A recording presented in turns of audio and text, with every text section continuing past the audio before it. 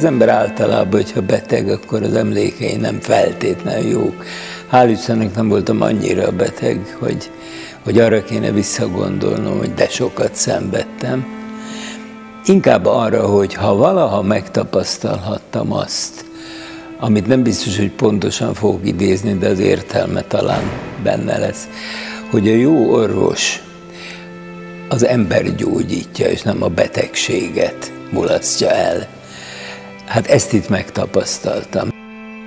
Intenzív osztályon is voltam egy éjszakát.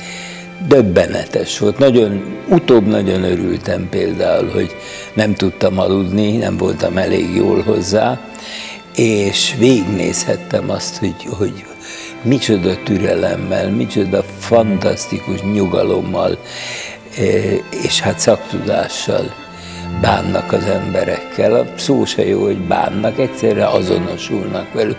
Az empátia ragadott meg.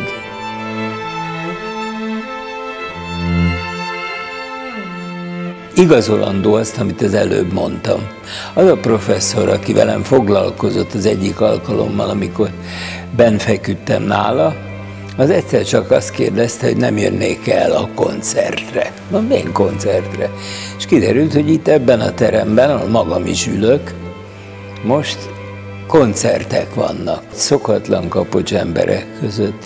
Nem a közös bulik, nem feltétlenül a sörözés vagy vacsorázás köti őket össze, hanem szép csendesen ülnek egymás mellett, és mégis tudják, hogy van egy közös kapocs, hiszen azért jöttek el.